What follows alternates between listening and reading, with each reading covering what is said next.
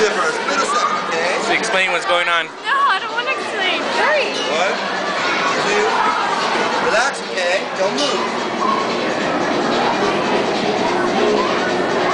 Those are nails going into his back.